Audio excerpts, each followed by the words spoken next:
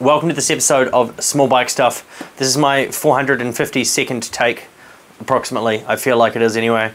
And uh, it's just me trying to explain a certain situation that's happened. And uh, I've got a couple of notes here, and it is all my personal opinion, but yeah, I'll explain it now. We'll just jump straight into it. So bear with me. Now, a lot of people have been affected by wide reaching tech layoffs in the past year, and I myself am no different until December 2022, I was working for a New Zealand founded company called Ubco. Ubco came to be through two incredibly creative and deep thinking Kiwis who wanted to develop a two wheel drive electric utility bike. Their first creation was entered into an innovation competition at New Zealand's largest agricultural event, which they proceeded to win. On the back of the success and a wee while later, the brand Ubco was created and a small team was collated to create the first production version of what became known as the 2x2. 2x2, two-wheel drive, 2x2. A first release happened in 2017 and then a second generation came the following year and finally by 2019 a bike which was known as the Generation 5 was brought to market and it had significant improvements over the original bike with robust build quality, power output increase, uh, increased range, and a whole bunch more. Now, I joined the company in 2021 after having been aware of them for a few years, and I was quite skeptical of the product at first, but after watching the growth and seeing an incredible role consisting of my two favorite things motorcycle knowledge and content creation, I jumped on board eager, excited, and keen to help with whatever I could to cement the legacy of a Kiwi creation. Joining the company, I, like many, had been hired on the premise of growth to expand the commercial fleets and with a bit of a push into other public markets. You see, despite being designed exclusively as an agricultural or farm bike, the 2x2 actually found a really comfortable home in the world of last mile delivery. The existing product was capable of 30 miles per hour or 50 kilometers per hour, and it could be ridden in most countries on a normal car driving license. And it was suitable for short hops around the city. Its unique design allowed for large racks both front and rear, meaning that decent loads were feasible. Therefore, quite a good last mile delivery bike. At the time, Ubco was also developing a Sur-Ron-esque dirt bike. Uh, it was known as the FRX1 during development, and I actually got to ride the first version of it, and there had been press releases and videos about it and stuff like that, so that's not secret news or anything like that. But unfortunately, like many companies, the flow and effects of COVID lockdowns around the world and things of a similar nature meant that the development couldn't continue in the same manner that it had been. Now, this is a good time to explain that all of this is just my personal opinion, and within my role, I was never privy to any high level secret information. And I've written a lot of Ubco 2x2s, and there were videos of that on my channel. There are videos of that on my channel. So, uh, you know, I, I still do like the company and I genuinely do wish great things for the company as any sane human would and I do hope for their success as time goes on. However, in turn, that does lead me to the next point.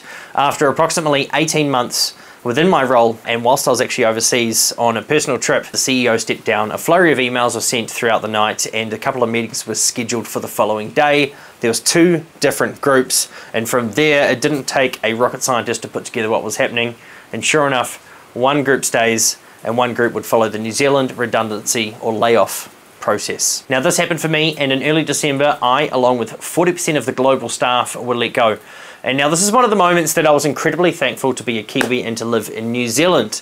New Zealand employment law left us in a better position than our USA counterparts who lost their roles virtually on the spot. And if you want to know more about the New Zealand employment law process or the New Zealand redundancy or layoff process, there's a lot of stuff on the internet about that. One quick Google search should give you all you need to know. Now, I was lucky enough not to be in a terrible position after this. I had other things I could focus on, and as of now, whilst filming this video, I am employed full time and I'm continuing on with my life. But on the whole, it raises an interesting question about the global tech scape and the global tech layoffs at present. Why do they keep happening? Are they preventable? Are companies just releasing one lot of staff and then rehiring another at a different rate?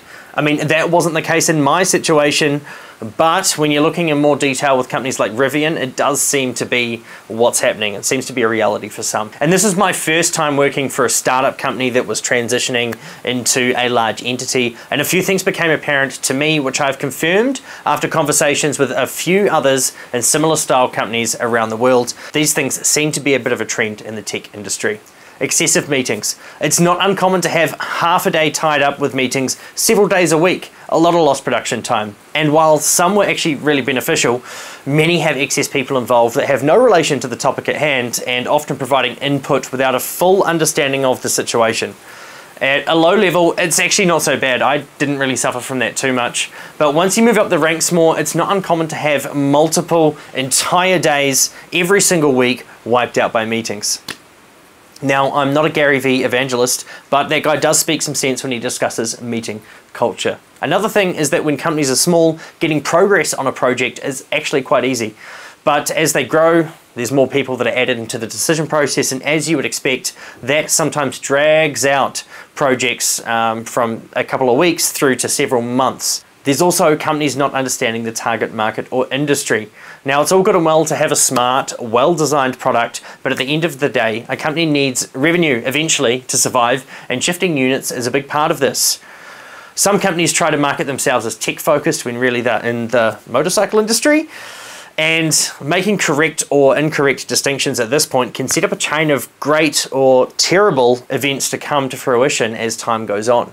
And it seems to be a common trend that some organizations have executive decisions, high level decisions that will affect the whole company, being made by people without direct industry experience. And this also ties into the excessive meeting culture, as these decisions go back and forward between different entities, whereas a specialist of that industry or that specific thing within that industry would be able to understand, identify, and execute a solution within a timely manner. For example, if I was running, uh, I don't know, a cake making company, I wouldn't be advising on the best, most popular cakes to focus on for profitability as I'm a motorcycle enthusiast that likes content creation.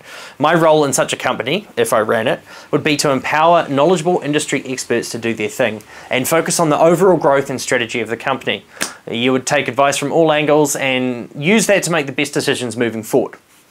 Now, I'm certain there are other consistencies within companies that are going through these extensive restructuring processes, but I don't want this video to be 30 minutes long and I'm just one person with an opinion, so I have to call it somewhere. At the end of the day, I don't want this video to come across as a complaint because it's really not, and I did love my time working with UBCO, as I previously mentioned, and I deeply wish to see their success in the coming years. But I view this video as more of an observation into the tech industry as a whole obviously there are things that I can say and that I can't say in a situation like this. And with the process being so fresh and having happened only a few months ago, maybe one day I'll be able to discuss in depth a more personal angle on the situation, but you'll have to subscribe and wait to see if that one ever happens. In summary, I, along with 40% of the staff at UBCO Bikes, we were let go at the end of 2022, and it was just before Christmas. It was a bit rough for some people, and it's a shame for all of the employees. But I was lucky enough to land on my feet, and I'm excited to see what 2023 brings for myself and the world and beyond. Have you been through this kind of experience before? Tell me below in the comments if you have. I'd love to read more, whether it was a big company or a small company, or what happened in this situation for you. Try not to dox yourself, try not to give out too much detailed secret company info, but you know, just an overall view of your situation, if this has happened to you, would be super interesting to read about. I promise the next video will be more two wheels focused in a proper, more exciting way, but I felt the need to share what happened as I had mentioned in my review that I did actually work for UBCO. Anyway, that's enough chat for one day, and I hope you enjoyed the video. Let me know your thoughts if you did. Uh, otherwise, we'll see you next time on Small Bike Stuff. Thank you so much for watching to this guy in his shed in New Zealand talking to a camera. We'll see you next time. Cheers.